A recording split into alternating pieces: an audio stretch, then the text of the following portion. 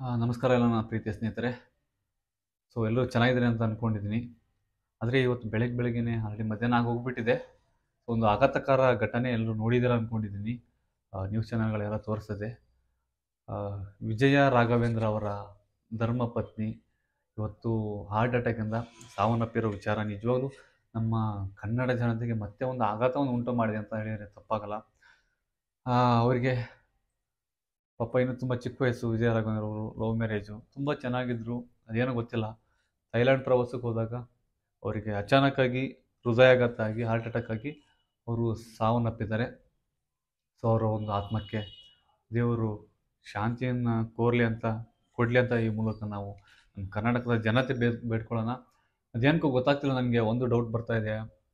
ತುಂಬ ಚೆನ್ನಾಗಿರೋರೆಲ್ಲ ಹೆಂಗಾಗಿರೋರು ಇಷ್ಟು ಬೇಗ ಏನಕ್ಕೆ ಹೃದಯಾಘಾತದಿಂದ ಸಾಯ್ತಾ ಇದ್ದಾರೆ ಅಂದರೆ ನನಗೆ ಒಂದು ತುಂಬ ದೊಡ್ಡ ಸವಾಲು ಅಂತ ಅನ್ನಿಸ್ತಾ ಇದೆ. ಅದು ಏನಕ್ಕೆ ರೀಸನ್ ಅಂತ ನಿಜವಾಗ್ಲೂ ಈ ಒಂದು ಯಂಗ್ ಏಜಲ್ಲಿ ಫಿಟ್ನೆಸ್ ಆಗಿದ್ದವ್ರು ಈ ಥರ ಹಾರ್ಟ್ ಅಟ್ಯಾಕಿಂದ ಸಾಯ್ತಾ ಇದ್ದಾರೆ ಅಂದರೆ ಇನ್ನು ನಮ್ಮಂಥ ತೆಳ್ಳಗಿರೋರೆಲ್ಲ ಹೆಂಗೆ ಮಾಡೋದು ನೋಡಿ ಎಷ್ಟು ದಪ್ಪ ಇದೆಯೋ ನಮಗೆಲ್ಲ ಏನಾಗುತ್ತೆ ಅನ್ನೋದೇ ನಮಗೆ ಗೊತ್ತಾಗ್ತಿಲ್ಲ. ಆದರೆ ನನಗೆ ಒಂದು ತಲೆಗೆ ಬಂದಿರೋದೇನೆಂದರೆ ವಿಜಯ ರಾಘವೇಂದ್ರ ಅವರು ಕೂಡ ಪ್ರೀತಿಸಿ ಅಂದರೆ ಲವ್ ಮಾಡಿ ಮದುವೆ ಆಗಿದ್ದು ಮನೆಯಲ್ಲಿ ಒಪ್ಪಿಸಿ. ಅದಾದ ಮೇಲೆ ಈ ದೇವರಿಗೆ ಯಾಕೋ ಈ ಲವ್ ಮಾಡಿ ಮೋಸ ಮಾಡೋರಿಗೆ ಒಳ್ಳೇದು ಮಾಡ್ತಾ ಇದ್ದಾನೆ.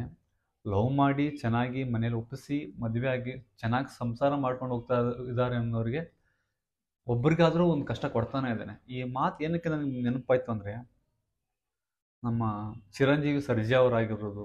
ಅವರು ಕೂಡ ಲವ್ ಮ್ಯಾರೇಜ್ ಆದರು, ತುಂಬ ಚಿಕ್ಕ ವಯಸ್ಸಲ್ಲಿ ಅವರು ಕೂಡ ಹಾರ್ಟ್ ಅಟ್ಯಾಕಿಂದನೇ ಮರಣ ಹೊಂದಿದ್ರು. ಅದ, ಅದಾದ ಮೇಲೆ ನಮ್ಮ ಕರ್ನಾಟಕದ ರತ್ನ ಪುನೀತ್ ರಾಜ್ಕುಮಾರ್ ಅವರು ಕೂಡ ಲವ್ ಮ್ಯಾರೇಜ್ ಆದರು. ಅವರು ಕೂಡ ಹಾರ್ಟ್ ಅಟ್ಯಾಕಿಂದ ನಮ್ಮನ್ನೆಲ್ಲ ಅಗಲಿದ್ರು. ಇವತ್ತು ಅದೇ ಥರ ಒಂದು ಘಟನೆ ಮತ್ತೆ ಮರುಕಳಿಸಿದೆ. ಇದನ್ನೆಲ್ಲ ನಾನು ನೋಡ್ತಾ ಇದ್ರೆ ನನಗೆ ಪ್ರೀತಿ ಮಾಡಿ ಕೈ ಕೊಡೋರು ತುಂಬ ಚೆನ್ನಾಗಿರ್ತಾರೆ ಅನ್ನಿಸ್ತಾ ಇದೆ.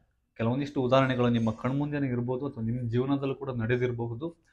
ಆದರೆ ದೇವರಿಗೆ ಚೆನ್ನಾಗಿದ್ದಾರೆ ಅಂದರೆ ಯಾಕೋ ಇಷ್ಟ ಆಗ್ತಾ ಇಲ್ವೇನೋ ಅನಿಸುತ್ತೆ.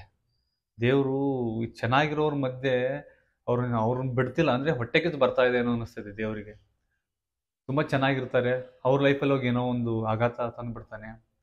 ಅದೇನೋ ಗೊತ್ತಿಲ್ಲ, ತುಂಬ ಅನ್ಯೂನ್ಯವಾಗಿರ್ತಕ್ಕಂಥ ಸಂಸಾರಗಳನ್ನು ನೋಡಿದರೆ ದೇವರಿಗೆ ಹೊಟ್ಟೆ ಕಸ ಬರುತ್ತೆ ಅನಿಸುತ್ತೆ. ಹಾಗಾಗಿ ಅವ್ರಿಗೆ ಒಂದು ದುಃಖ ಕೊಡಬೇಕು ಅಂತಲೇ ಗಂಡನ್ನು ಅಥವಾ ಹೆಂಡತಿನೋ ಈ ಥರ ಕಿತ್ಕೊತಾ ಇದ್ದಾನೆ ಅಂತ ನನಗೆ ಅನಿಸ್ತದೆ ನಿಜವಾಗ್ಲೂ ನೆನೆಸ್ಕೊಂಡು ಒಂಥರ ಸಮ್ಟೈಮ್ಸ್ ದುಃಖ ಆಗುತ್ತೆ.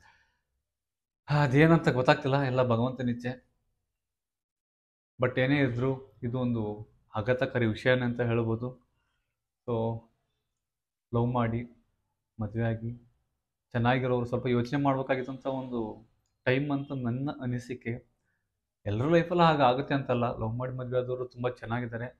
ಆದರೂ ಅನ್ಯೂನ್ಯವಾಗಿರ್ತಕ್ಕಂತಹ ಕೆಲವೊಂದಿಷ್ಟು ಸಂಸಾರಗಳು ಯಾಕೆ ಹೀಗಾಗ್ತಾ ಇದೆ? ದೇವ್ರಿಗೆ ಯಾಕಷ್ಟು ಹೊಟ್ಟೆ ಕಿಚ್ಚು ಅಂತವ್ರ ಮೇಲೆ ಅನ್ನೋದೇ ಒಂದು ತುಂಬ ಬೇಜಾರದ ಸಂಗತಿ ಅಷ್ಟೇ. ಅದು ಬಿಟ್ಟರೆ ಏನಿಲ್ಲ. ನೋಡೋಣ ಭಗವಂತನ ಇಚ್ಛೆ ಏನಿದೆ ಗೊತ್ತಿಲ್ಲ. ಸೊ ವಿಜಯ ರಾಘವೇಂದ್ರ ಅವರಿಗೆ ಮತ್ತು ಅವರ ಫ್ಯಾಮಿಲಿಗೆ ದೇವರು ಇದನ್ನೆಲ್ಲ ಅರಗಿಸ್ಕೊಳ್ಳುವಂಥ ಒಂದು ಶಕ್ತಿಯನ್ನು ಕೊಡಲಿ. ಹಾಗೂ ಅವರ ಮುಂದಿನ ಜೀವನ ನಡೆಸಲಿಕ್ಕೆ ಅವರಿಗೆ ಗಟ್ಟಿ ಮನಸ್ಸನ್ನು ಕೊಡಲಿ ಅಂತ ಇವತ್ತು ನಾವು ಬೇಡ್ಕೊಳ್ಳೋಣ ದೇವ್ರ ಹತ್ರ. ಅವರ ಆತ್ಮಕ್ಕೆ ಶಾಂತಿ ಸಿಗಲಿ, ಅವರ ಧರ್ಮಪತ್ನಿಯವರಿಗೆ. ಇಷ್ಟೇ ಹೇಳ್ಬೋದು. ಇನ್ನೂ ಜಾಸ್ತಿ ಹೇಳಕ್ಕೆ ಹೋಗ್ಬಿಟ್ರೆ ನಾವೇ ಎಲ್ಲಿಗೆ ಹೋಗ್ಬಿಡ್ತೀವಿ. ಸೊ ತುಂಬ ಧನ್ಯವಾದಗಳು ನಮ್ಮ ವಿಡಿಯೋ ನೋಡಿದ್ದಕ್ಕೆ.